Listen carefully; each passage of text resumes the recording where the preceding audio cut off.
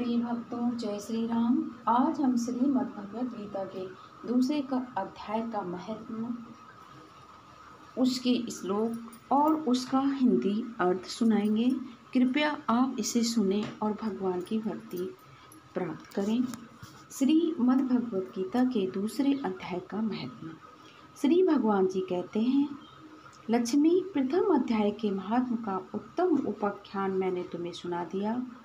अब अन्य अध्यायों के महात्म श्रवण करो। दक्षिण दिशा में वेद वेदता परमाणु के पुरंदरपुर नामक नगर में श्रीमान देव शर्मा नामक एक विद्वान ब्राह्मण रहते थे। वे अतिथियों के पूजक, स्वाध्यायशील वेद शास्त्रों के विशेषक यज्ञों का अनुष्ठान करने वाले थे और तपस्वियों के सदा ही प्रिय थे। उन्होंने उत्तम द्रव्यों के द्वारा अग्नि में हवन करने के लिए दीर्घ काल तक देवताओं को तृप्त किया, किंतु उन धर्मात्मा ब्राह्मण को कभी सदा रहने वाली शांति न मिली। वे परम कल्याणमय तत्व का ज्ञान प्राप्त करने की इच्छा से प्रतिदिन प्रचुर सामग्रियों के द्वारा सत्य संकल्प वाले तपस्वियों की सेवा करने लगे। इस प्रकार शुभ आचरण करते उन्हें बहुत समय बीत गया। तदंतर एक दिन पृथ्वी पर उनके समक्ष एक त्यागी महात्मा प्रकट हुए। वे पूर्ण अनुभवी, आकांक्षा रहित नासका के अग्रभाग पर दृष्टि रखने वाले थे। तथा शांत चित्त थे। निरंतर परमात्मा के चिंतन में संलग्न हो वे सदा आनंद विभोर रहते थे।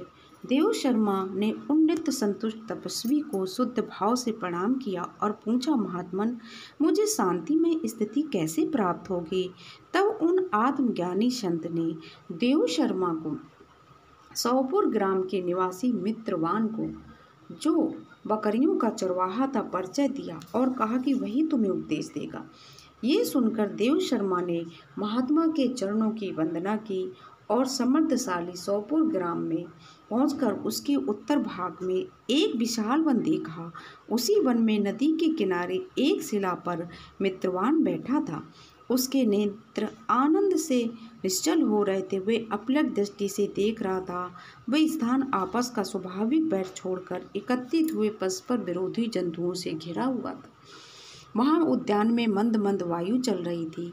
मृगों के झुंड शांत भाव से बैठे थे और मित्रवान, दया से भरी हुई आनंदमयी, मनोहारिणी दृष्टि से पृथ्वी पर मानो अमृत छिड़क रहा था। इस रूप में उसे देखकर देव शर्मा का मन प्रसन्न हो गया। वे उत्सुक होकर बड़ी विनय के साथ मित्रवान के मित्रवान ने भी तदंतर अपने मस्तक को नवाकर देव शर्मा को सत्कार किया।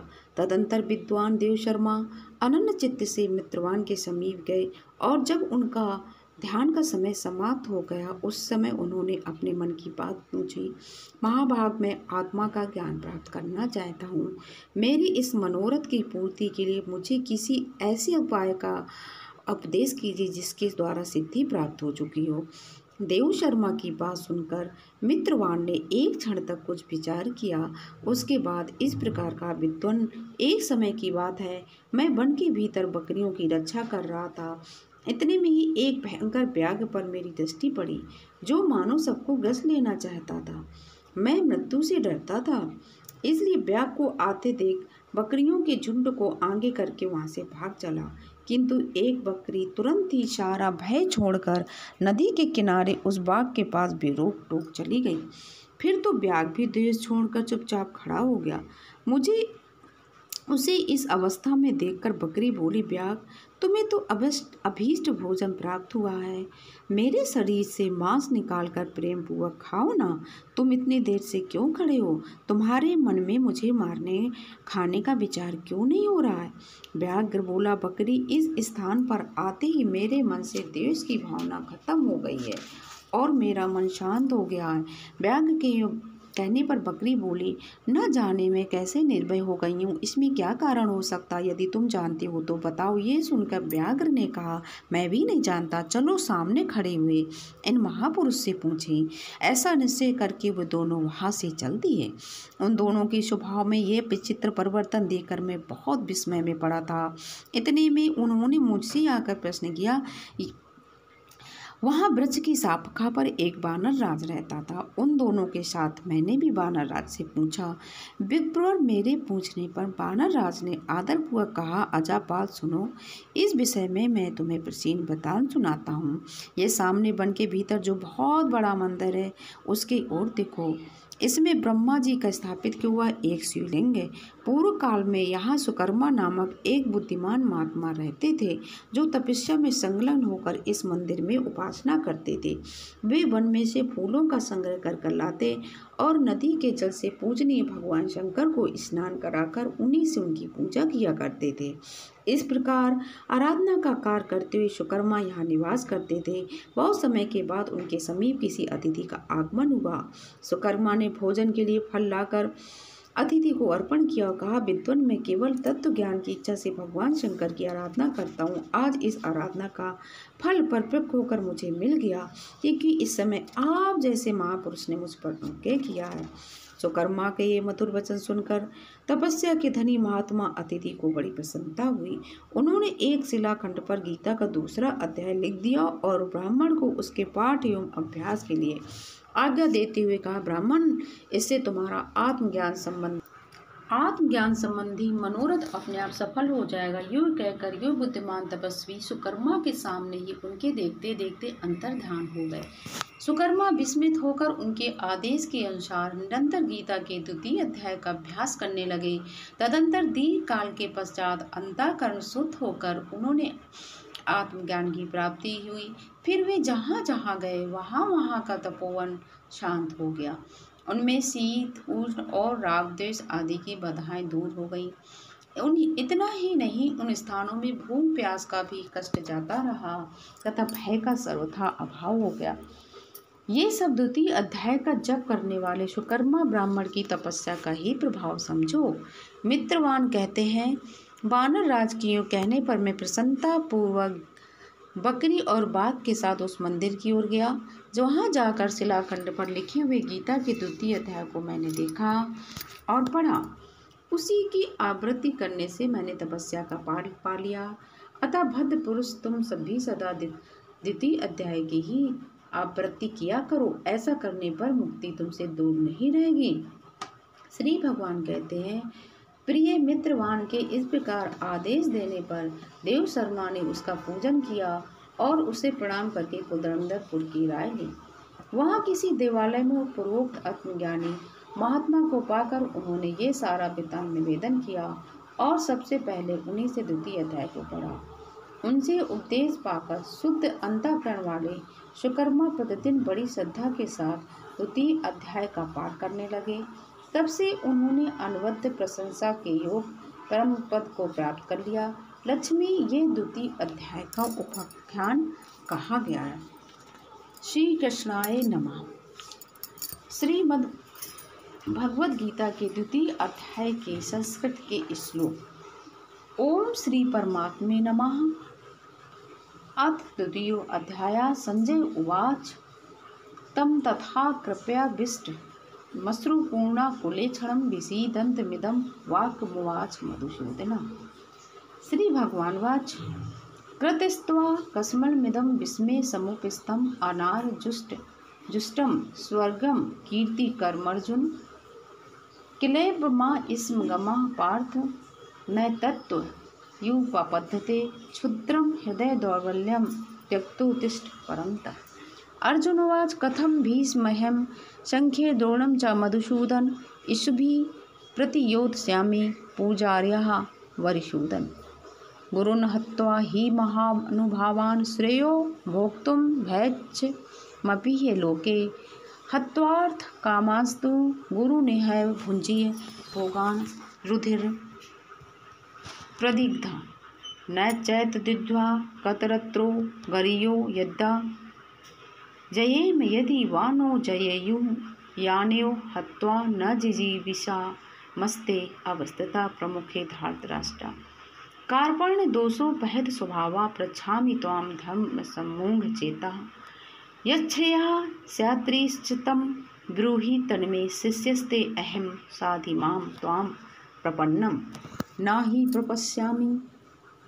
माँ मा पनोधाद यच्छोक मुछोषण मिन्द्रियाणाम् अवाप भूमा वा सपत्र मिद्धम राज्यम सुराणामपि चाधिपत्यम् संजय उवाच, एवं मुक्त्वा ऋषिकेशं गुडाकेश परन्तप न योत्सय इति गोविंद मुक्त्वा तूष्णीं बभूव। हा तमुवाच ऋषिकेशा प्रहस्तीव भारत सेनयोरु, भयोर्मध्ये विसीदन्त।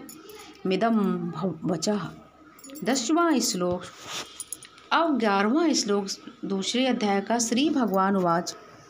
असोच्यान न वसोच स्त्वं प्रज्ञा वदांश्च भाग भाषसे गता सून गता सूनश्च नानुशोचन्ति पंडिताः न त्वे वाहं जातु नासं, न त्वं नेमे जनाधिपा न चैव न भविष्यामः सर्वे वयमितः परम्।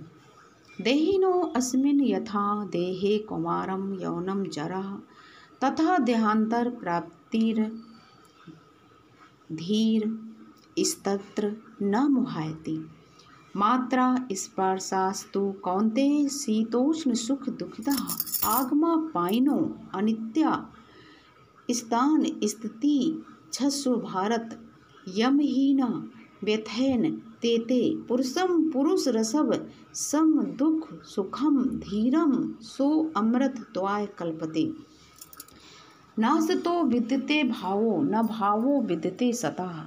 उभयोरपि दृष्टो अंत।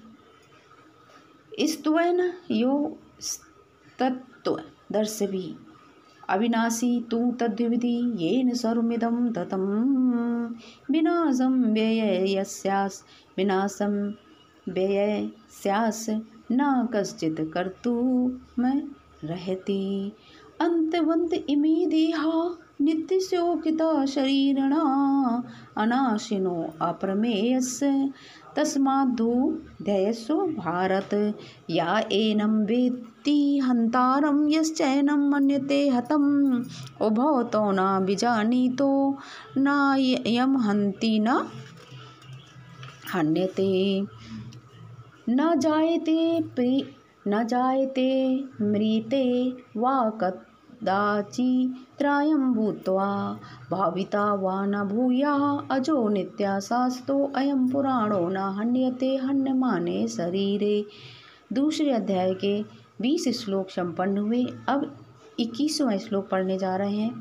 वेदा विनाशिनम नित्यम या एनम जम व्ययम कथम स पुरुषः पार्थ कम घातयन्ति हन्तिकं वांसांसि जीर्णानि यथा विहाय नवानि, गृह्णाति नरो अपराणि, तथा शरीराणि विहाय जीरा, जीर्णान्य न्यानि संयाति नवानि देहि। नयनं चिदन्ति शस्त्राणि नयनं दहति पावका न चयनं किलेदन त्यापो न शोकयति मारुता। अच्छेदो अयं दायो अयं किलेषु अशोक्ष एव च नित्यः, सर्वगता स्थाणुर्चलो अयं सनातनः।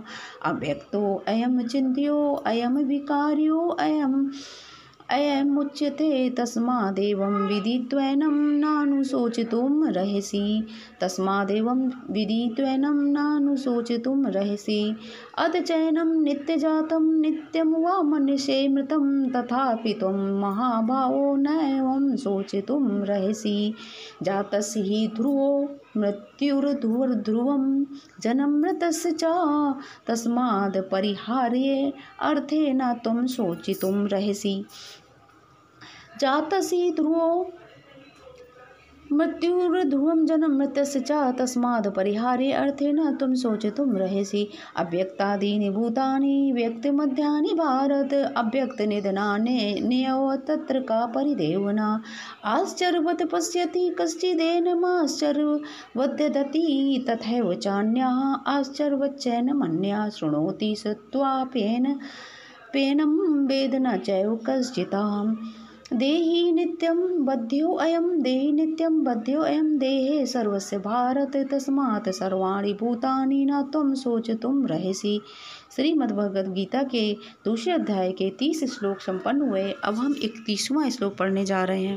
स्वधर्ममपि चावेच न विकन् विकम्पितुं रहसि। धर्म्यादि युद्धाच्छयो अन्न यत् क्षत्रियस्य न विद्यते यद्रक्षया चोपपत्रं स्वर्गद्वारं पाव्रतं सुखिनः क्षत्रिया पार्थ लभन्ते युद्धमीदृशम् ईदृशम् अथ चेतोमिमं धर्म्यं सङ्ग्रामं न करिष्यसि तथा स्वधर्मकीर्तिं च हित्वा पापं वाप्स्यसि।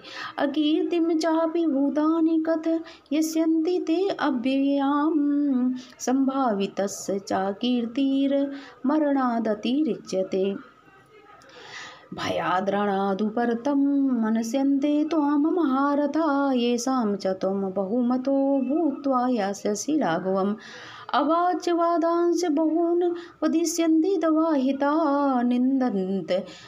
स्तौ सामर्थ्यं ततो दुःखतरं नु किं हतो प्राप्स्यसि स्वर्गं जित्वा वभोजसे महीं तस्मादुत्तिष्ठ कौन्ते युद्धाय कृतनिश्चयः सं सुखदुःखे समे कृत्वा। सुखदुःखे समे कृत्वा लाभालाभो जया जयो। ततो युद्धाय युज्यसु नैवं पापं वाप्स्यसि एषा ते अभियते एषा ते अभिहिता साङ्ख्ये बुद्धिर्योगे तु माँ। शृणु बुद्ध्या युक्तो यया पार्थं कर्मबन्धं प्रहास्यसि। नेयाभिक्रमनाशोऽस्ति प्रत्यये, ये वायो न विद्यते स्वल्प स्वल्पं प्यसस्य धर्मस्य त्रायतो तो भयात। श्रीमद्भगवद गीता के दूसरे अध्याय के चालीस श्लोक संपन्न हुए। अब इकतालीसवां श्लोक पढ़ने जा रहे हैं। व्यवसायत्मका व्यवसायत्मका बुद्धि रेके है। गुरुनंदन बहुशाखा, ह्यान ह्यानन्ताश्च बुद्धयो अप्यय। वसायिनां यामिमां पुष्पितां वाचं प्रवदन्त विपश्चिताः वेदवादरता पार्थ नान्यद स्थितिवादिनः। कामात्मानः स्वर्गपरा जन्मकर्मफलग्रह जन्मकर्मफलप्रदां क्रियाविशेषबहुलां भोगैश्वर गतिं प्रति भोगैश्वर प्रसक्तानां तया पहत चेतसां व्यवसात्मका बुद्धि समाधो न विधीयते। त्रैगुणविषया वेदा निर, निस्त्रैगुण्यो भवार्जुन निर्द्वन्द्वो नित्यसत्त्वस्थो निर्योगक्षेम आत्मवान् यावानर्थ उदपाने सर्वतः सम्प्लुतोदके तवान् सर्वेषु वेदेषु वेदेषु ब्राह्मणस्य विजानतः, कर्मण्याधिकारस्ते मा फलेषु कदाचन। कर्मण्येवाधिकारस्ते मा फलेषु कदाचन। मा कर्मफलहेतुर्भूर्मा ते सङ्गो अस्ति अस्त्वय कर्मणि, योगस्ते कुरु कर्माणि संगम त्यक्त्वा धनञ्जया। सिद्ध सिद्ध्यो समो भूत्वा समुत्वं योग उच्यते। दूरेण ह्यावरं कर्म बुद्धि योगा धनंजय बुद्धि योगादि धनंजय बुद्धौ शरणं न विच्छ, कृपणा फल हेतुवा। बुद्धियुक्तो बुद्धियुक्तो जहाति उभे सुकृत दुष्कृते, तस्माद्धो गाय तस्माद्धो गाय युजस्व योगा कर्म युजस्व योगा कर्मसु कौशलम। श्री मद्भगवद गीता जी के दूसरे अध्याय के पचास श्लोक संपन्न हुए। अब इक्यानवा इक्यावन श्लोक पढ़ने जा रहे हैं।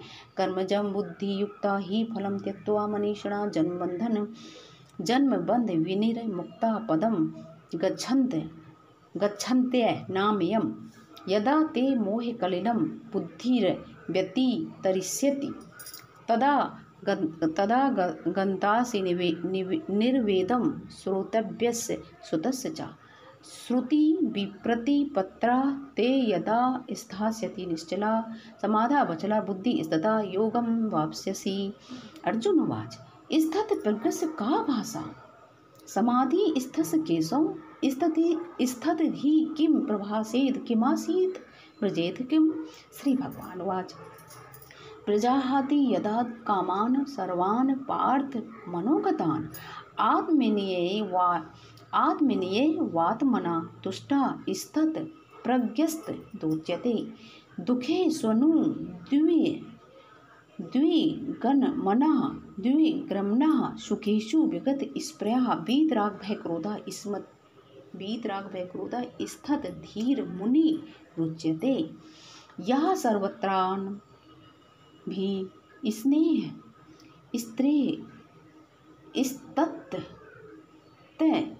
प्राप्त शुभाशुभम नाभिनंदति न दृष्टि तस् प्रज्ञा प्रतिष्ठितता यदा संघर्ते चायम कूर्मो अंगानीव सर्वशा इंद्रियाणि इंद्रियार्थे इंद्रियाणि इंद्रियार्थे भयस्तस्य प्रज्ञा प्रतिष्ठितता। विषया विनिवर्तन्ते निराहारस्य देहिना, रसवर्जं रसोऽप्यस्य परं दृष्ट्वा निर्वन्त निर्वर्तते निर्वर्तते, निवर्तते। यततो ह्यापि कौन्ते पुरुषस्य विपश्चिता इन्द्रियाणि प्रमाथीनि हरन्ति प्रसभं मना। गीता जी के दूसरे अध्याय के साठ श्लोक संपन्न हुए। अब इकसठवां श्लोक सुनिए। तानि सर्वाणि संयम में युक्त आसीत मत्परा बसे ही यस्येन्द्रियाणि तस्य प्रज्ञा प्रतिष्ठिता ध्यायतो विषयान युंस ध्यायतो विषयान पुंस संगस्ते, सुपजायते, संगात संजायते, कामा कामात, क्रोधो अभिजायते। क्रोधोद क्रोधात् भवति सम्मोह। क्रोधात् भवति सम्मोह, सम्मोहात् स्मृति विभ्रमः स्मृति भ्रंसात् बुद्धिनाशो बुद्धिनाशात् प्रणश्यति। रागद्वेष वियुक्त, वियुक्तस्तु विषयानिन्द्रियश्चरन् आत्मवश्य आत्मवश्यर विधेयात्मा आत्मवश्यर विधेयात्मा प्रसादं धिगच्छति। प्रसादे सर्वदुःखानां हानिरस्योपजायते। प्रसन्नचेतसुर्यासु बुद्धिपर्य व बुद्धि प्रसन्नचेतसु ह्यासु बुद्धिपर्यवतिष्ठते। नास्ति बुद्धिर्युक्तस्य न चायुक्तस्य भावना, न चाभा भव न चाभा वैतः शांतिर शांतस कुतः सुखम। इंद्रियाणां हि चरतां यन्मनो, अनुविधीयते तदस्य हरति प्रज्ञां वायुर्न विवाम्भसि तस्माधस्य महाभावो निगृहीतानि निगृहीतानि सर्वशा इन्द्रियाणि इन्द्रियार्थे भयस्तस्य प्रज्ञा प्रतिष्ठितता। या निशा सर्वभूतानां तस्यां जागृति संयमी यस्यां जागृति भूता निशा निशा पश्यतो मुनेः आपूर्णमाणं चलप्रतिष्ठं समुद्रमापापृशन्ति यदता यद्दत्तु कामा। यं प्रविशन्ति सर्वेशा शान्ति। मा प्रोतीना काम कामी। दूसरे अध्याय के सत्तर श्लोक संपन्न हुए गीता जी के, अब इकहत्तरवां श्लोक सुनिए। विभा, विहाय कामान शर्वान पुमान स्चरति निष्प्रया निर्ममो निरहंकारा। सा शांतिम गच्छति ऐसा ब्राह्मी स्थिति पार्थनयनाम प्राप विमूढ़याति। स्थित वा श्यामंत काले अपि ब्रह्मा निर्वाण मृक्षति श्रीमद्भगवत गीता के दूसरे अध्याय का बहत्तर श्लोक हैं, ये संपन्न हुए।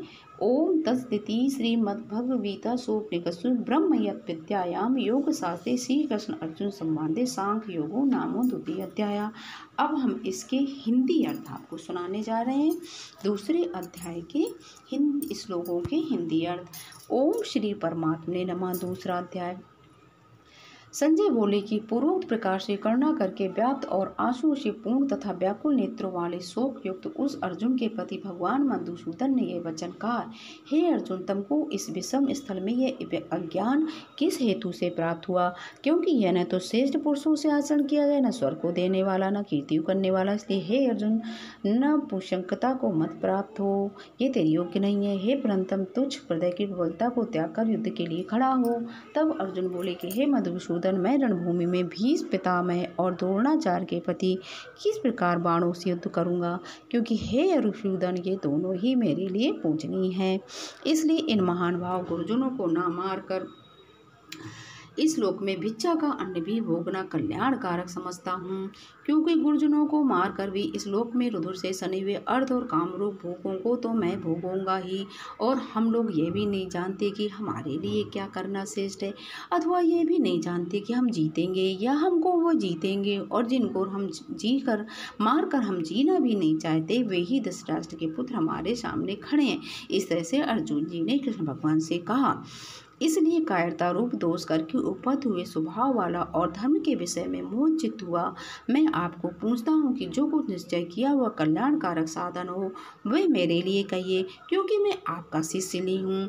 इसलिए आपके शरणों मेरे को शिक्षा दीजिए, क्योंकि भूमि में निष्कंटक धन धान संपन्न राज को और देवताओं के स्वामी पने को प्राप्त होकर भी मैं उस उपाय को नहीं देखता हूँ जो कि मेरी इंद्रियों को सुखाने वाले शोक को दूर कर सके। संजय बोले, हे राजा, निद्रा को जीतने वाले अर्जुन, अंतर्यामी श्री कृष्ण महाराज के प्रति इस प्रकार कहकर फिर श्री गोविंद भगवान से युद्ध नहीं करूँगा, ऐसा स्पष्ट कहकर अर्जुन चुप हो गए। इसके उपरांत हे भरतवंशी, धृष्टास, अंतर्यामी श्री कृष्ण महाराज ने दोनों सेनाओं के बीच में उस युक्त अर्जुन को हँसते हुए से वचन कहे, हे अर्जुन, तू ना शोक करने वालों के लिए शोक करता है और पंडितों को से वचनों को कहता है। परंतु पंडित जन जिनके प्राण चले गए, उनके लिए और जिनके प्राण नहीं गए हैं, उनके लिए भी शोक नहीं करते हैं। पंडित जन मतलब ज्ञानी, क्योंकि आत्मा नित्य है, इसलिए शोक करना अत्युक्त है। वास्तव में न तो ऐसा ही है कि किसी काल में मैं नहीं था अथवा तू नहीं था। अथवा ये राजा लोग नहीं रहेंगे और ऐसा भी नहीं है कि इससे आगे ये हम सब नहीं रहेंगे। किंतु जैसे जीवात्मा की इस देह में कुमार, युवा और वृद्धावस्था होती है, वैसे ही अन्य शरीर की भी प्राप्ति होती है। उस विषय में धीर पुरुष मोहित नहीं होता है। अर्थात जैसे कुमार, युवा और जरावस्था रूप स्थूल शरीर का विकार अज्ञान से आत्मा में भासता है वैसे एक शरीर से दूसरे शरीर को प्राप्त होना रूप सूक्ष्म शरीर का विकार भी अज्ञान से ही आत्मा में भासता है। इसलिए तत्व को जानने वाला धीर पुरुष इस विषय में मोहित नहीं होता है। हे कुंती बुद्ध, सर्दी, गर्मी और सुख दुख को देने वाले इंद्रियों और विषयों के संयुक्त तो क्षण, भंगुर और अनित हैं। इसलिए हे भरतवर्षी अर्जुन, उनको तू सहन कर।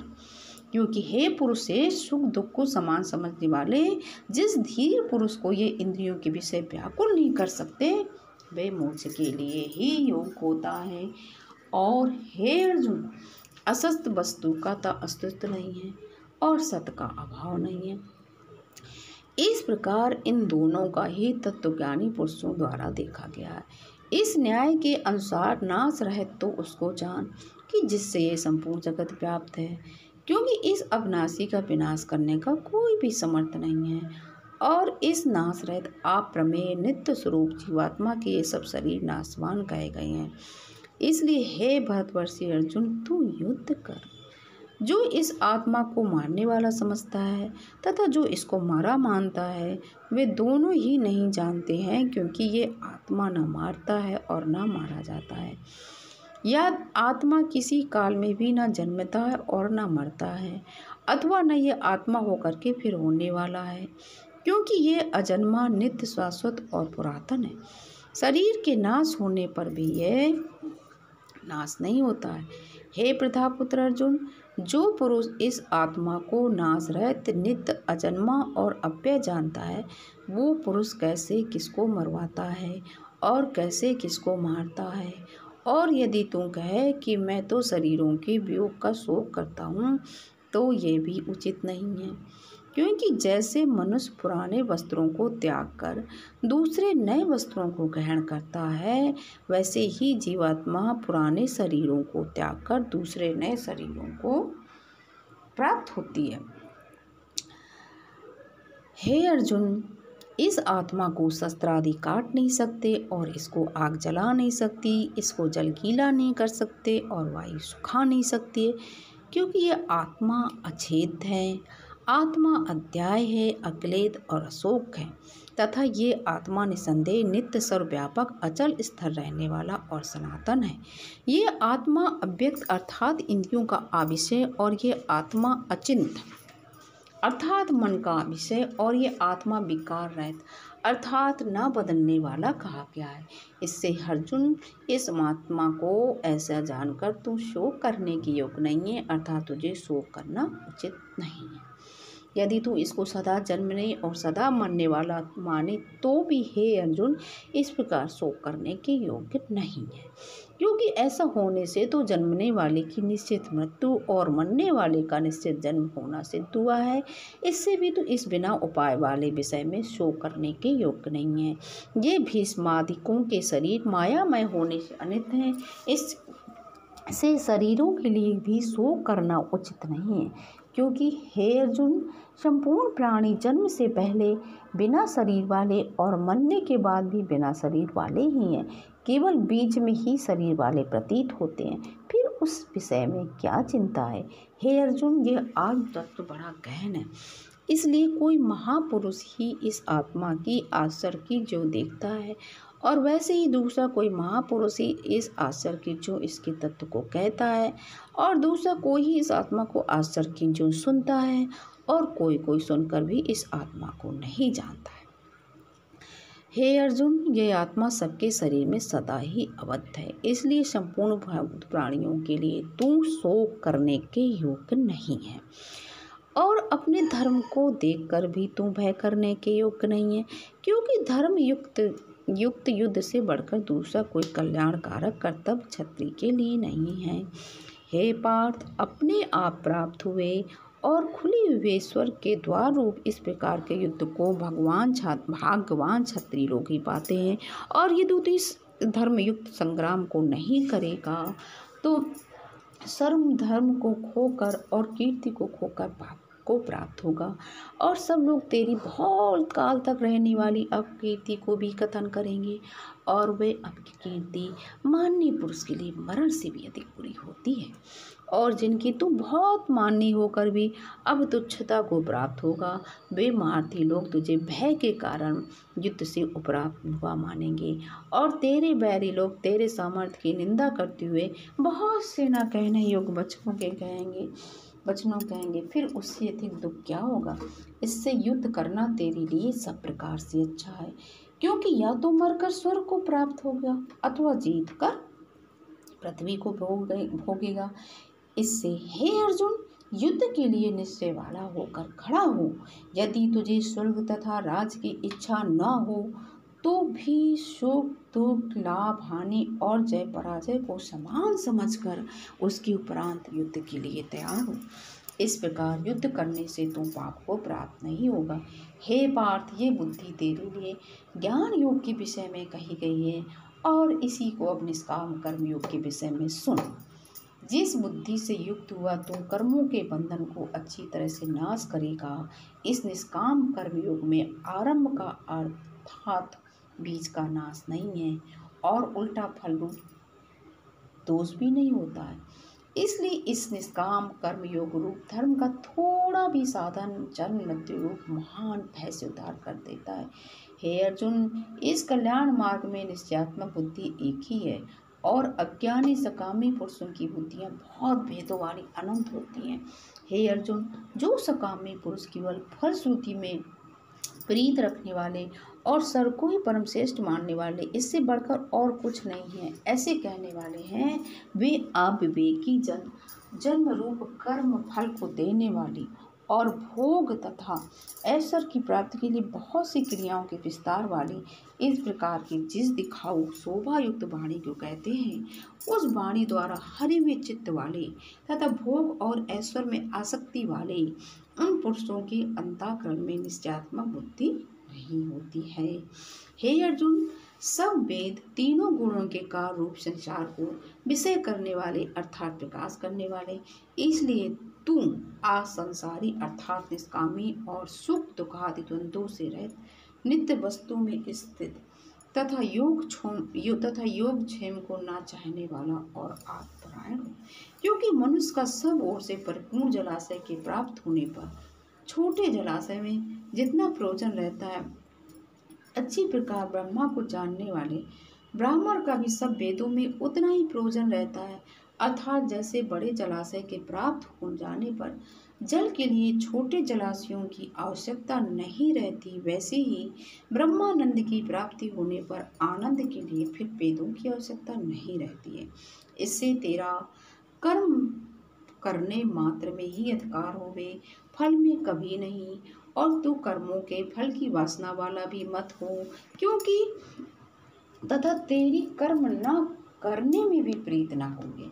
हे धनंजय, आसक्ति को त्याग कर तथा सिद्धि और असिद्धि में समान बुद्धि वाला और योग में स्थित हुआ कर्मों को कर, ये समत्व भाव ही योग नाम से कहा जाता है। इस समत्व रूप बुद्धि योग से सकाम कर्म अत्यंत उच्च है इसलिए हे धनंजय, समत्व बुद्धि योग का आश्रय ग्रहण कर, क्योंकि फल की वासना वाले अत्यंत दीन है। समत्व बुद्धि युक्त पुरुष पूर्ण पाप। दोनों को इस लोक में ही त्याग देता है, अर्थात उनसे लिपायमान नहीं होता है। इससे समत्व बुद्धि के लिए ही चेष्टा कर। ये समत्व बुद्धि रूप योग ही कर्मों में चतुरता है, अर्थात कर्म बंधन से छूटने का उपाय है।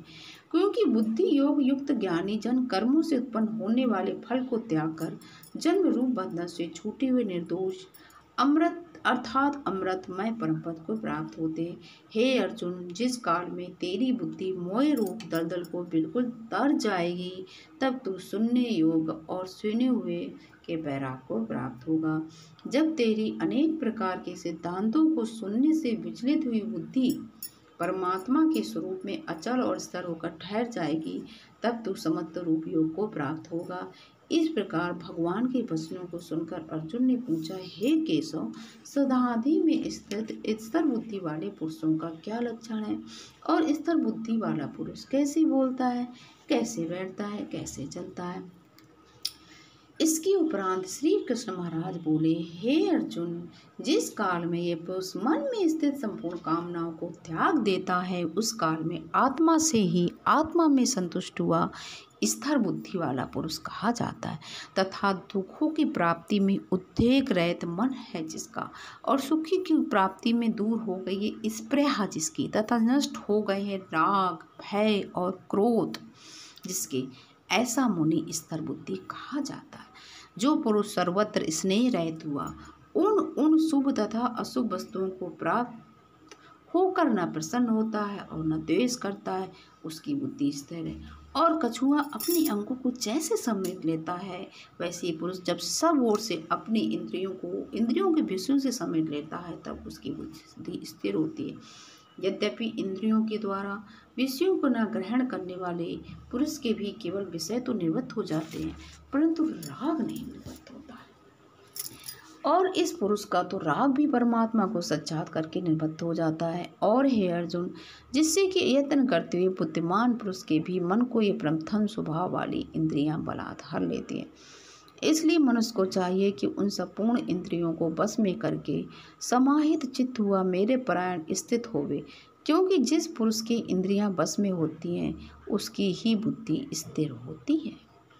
हे अर्जुन मन सहित इंद्रियों को बस में करके मेरे परायण न होने से मन के द्वारा विषयों का चिंतन होता है और विषयों को चिंतन करने वाले पुरुष की उन विषयों में आसक्ति हो जाती है और आसक्ति से उन विषयों की कामना उत्पन्न होती है और कामना में विघ्न पड़ने से क्रोध उत्पन्न होता है।